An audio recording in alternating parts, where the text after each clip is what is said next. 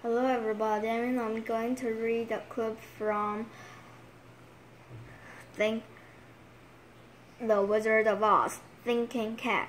When the lion was gone, Oz said to himself, Well, I'm glad to make him happy, but I still take them more imagination to get Dorothy back to Kansas. But I must put on my thinking cap. Ah, I have it. Next day, a very sad and unhappy Dorothy was called to the throne room. There she found Oz grinning from ear to ear. Oh, well, young lady, I think I've found the way to get us out of this country. Oh, that's wonderful. Oh, thank you, Mr. Oz. But you said us. Are you going to?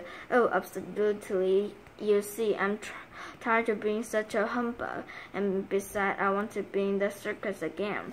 I see. How are we going to get away? Oh, we'll make a balloon. See, that's how I got here, and that's how we're going to get away. Thank you for watching.